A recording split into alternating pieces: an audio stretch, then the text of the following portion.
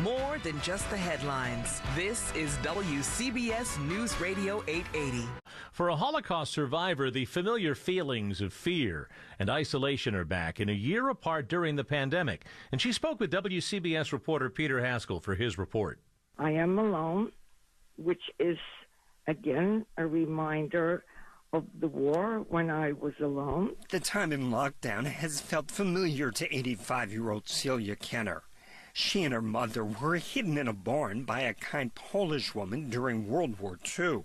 When rats came, one of us slept, the other one would make a noise to keep the rats away.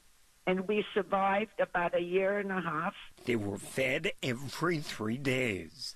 The Queens woman says this is worse. Because now I have you know, uh, children, grandchildren, and great grandchildren.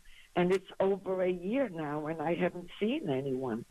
Peter Haskell, WCBS News Radio 880. 11